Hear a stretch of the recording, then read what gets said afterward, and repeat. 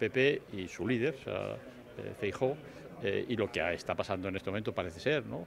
Es que está bajando, bajando, la gente le está conociendo, él se está haciendo notar más, o está, proyectándose públicamente y hay valoraciones más negativas. Pero vamos, la encuesta esta última que hemos sacado, la del barómetro del mes de septiembre, los resultados son muy equilibrados, ¿eh? están en diferencias pequeñas. En este momento yo creo que, bueno, pues me parece que hay mucha exageración, ¿no? Las encuestas son un elemento de información. Si alguien quiere tomarlas como elemento de información y le sirve para algo, estupendo.